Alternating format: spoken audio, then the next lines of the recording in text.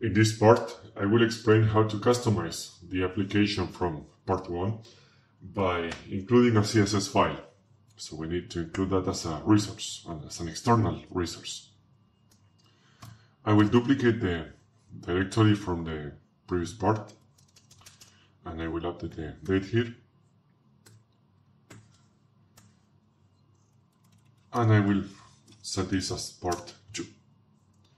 So now I will open the directory, rename the project, and open it with RStudio.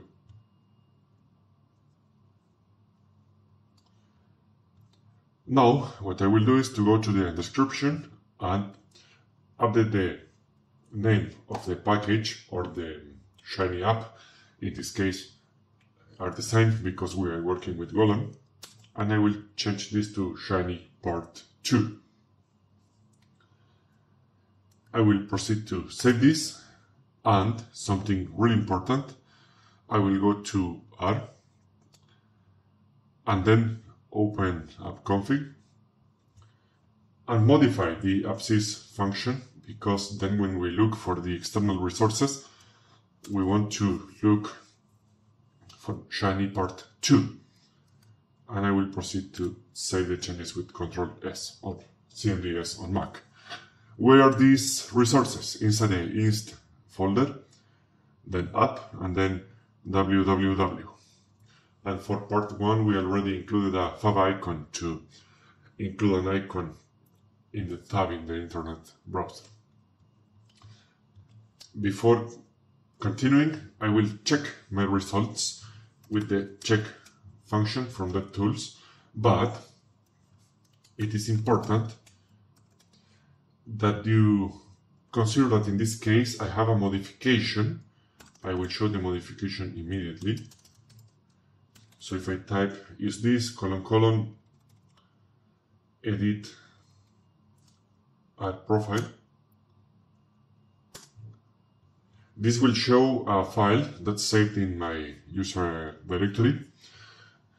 And there I included DevTools and usethis, which means that every time that I open RStudio or I restart the session, DevTools and usethis are opened immediately. And this is why I have access to the functions uh, such as create, create a GitHub token, create from GitHub, or the use add function, or the create project function. So that's it. So now I will run check in console. And this should return any warnings or errors from part 1 and I will correct those here and then proceed to the CSS modification. Okay, so if I expand the console, it's telling me that there are no bindings for empty cars. Empty cars is a table. So the suggestion that this is giving me here uh, about using an import from is not that good because let me show you if I open the R directory and then let's say open app server. With the import from, I can import a function, in this case filtered from dplyr. But for a dataset such as empty cars, I can just type datasets colon colon mtcars. Otherwise, if I include an import from here by calling a mtcars, then the text will give a warning that uh, mtcars is not an exported function from the datasets package. And the datasets package comes with R. You don't need to install that. It's a part of a base. So I have one modification here server. And if I explore the warnings again, in AppUI I also need to modify the content because I, I called mtcars there as well. So I will go to AppUI and here Control F and then empty cars.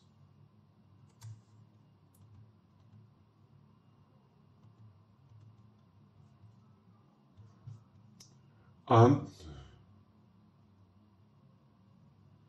we need to look at that.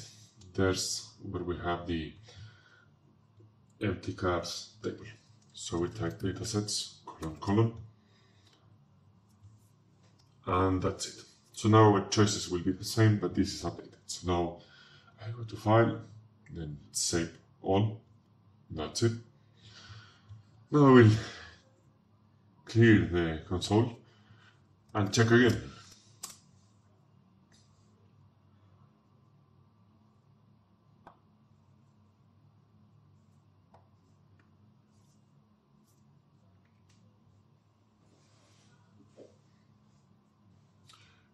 Now it's okay, zero errors, warnings or notes, that's perfect.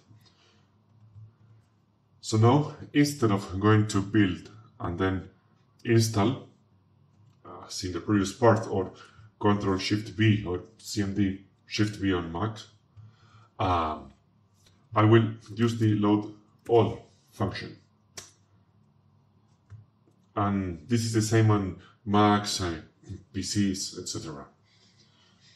So load all, it's very similar to installing the package, but you load all the functions on the fly. So when you do a lot of modifications, you save time because you don't have to reinstall the package and restart the session every time. And this is especially good when you do many small changes.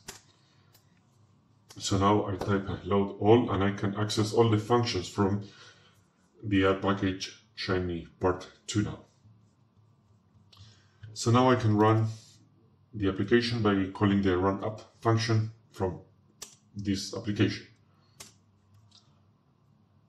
And the app is running, same as in the previous part of the video. Here it will be interesting to sort this, right? Like 4, 6, 8 and not 6, 4, 8. So now here we can, in the choices, add another pull and then use a sort. And that's also base R.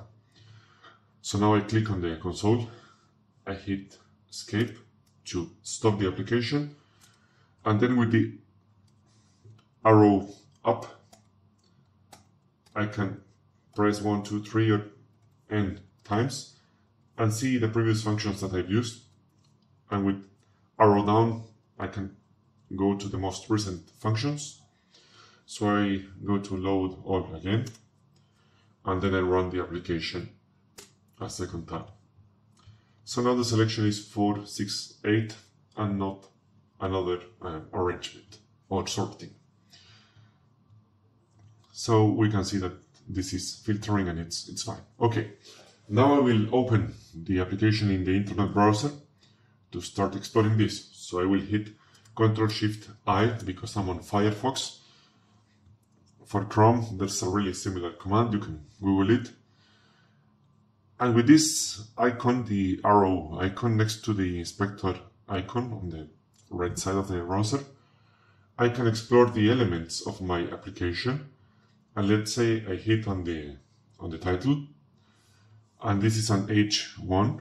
We can see this in the CSS, and also we can explore that. It also tells us that it's a it's an H1 uh, like a title one in, in Word. So now we open RStudio again, close the app with escape after clicking in the console, and we go back to the root of the project and go to the dev folder. And in, inside the dev folder, we have the amend description function that fixes anything that's missing in the description or in the namespace. I can run it. And now it added the datasets package as a requirement. So this wasn't there previously. So if I delete that to show you again, I will delete that, save the description, and run the amend description once again. And that's because we have a call to the datasets package in our functions. That's it. But also inside the dev script, this script, once again, as in the previous part, is provided by Golem, and it's excellent to have this kind of templates to simplify our work. Now we do Control S and look for CSS. And this is important because we modified the app config previously so that then the application can find the CSS file. The file doesn't exist at this moment, but we are going to create it. So now we run the add CSS file function. Where is this file? This file is in inst app www as I mentioned previously. So here we can include something such as h1, then curly brackets, and we can add, for example, a font size, let's say 48 pixels, and then we can specify a font family. Then we open quotes and we can type something like a Comic Sans MS and otherwise a sans serif if the font is not available. And we can also specify a color for the title. So we go back to the browser, new tab, and we go to color dash hex.com. So here we can go to latest palettes. This is a really nice website. This palette here seems to be really fine. I will copy this color here, super fun palette. So now I go back to RStudio and I paste this hex color. So now I will save the CSS file, then type load all once again, and then run the application and see what happens. So now we have one modification here, but we can continue exploring different options. We hit Ctrl Shift I once again, then proceed to explore the rest of the elements in here. So if we click on the HTML, we can maybe include a background. Let's say we include a background here, and let's say we include a, let's say a beige. So that includes a beige tone, probably not the best modification. But we can also proceed to alter any element that we have in here. So for example, these uh, th elements. What if we want to put all the th elements in italics, for example? So we can hit a font style and then set italic. This is ignored because the Shiny app internally calls other CSS files that are accessible from Shiny and Golem itself. But we can add an exclamation here and set an important. And this will put all the texts inside a th in italics. So we can even copy these selectors here, right? Or we can just copy the, just the th or just the complete CSS path or tree. So we copy that. Then we go back to the CSS file and we paste this content. And here we can also change the font family. Let's say that we want to put this in Times New Roman or serif otherwise if the font is not available. So now I close the app again, click on console and escape, then load all, and then run app. And now my table has a different style. So you can keep adding different modifications. You can explore on Google and how to alter a table or a, an H1, H2, etc. And important here, you can also load Google Fonts. I will show you uh, this for completion. So we go to Google and we we search for Google Fonts. And here we can search any font that we like. For example, let's say Roboto Condensed. So we click on the font here. So let's say that we want regular 400. So we can import this in our CSS. So we select the add import option. We copy the part inside the style in here. And we go back to our application, paste the CSS here. And now we can include something different. So now we can call, let's say, Roboto Condensed here instead of Comic Sans and this will connect to Google Fonts website and get the required files to display this font inside our application. So now I load all again and then run up. And now we have the titles in Roboto Condensed. I hope you like this video. Thank you very much.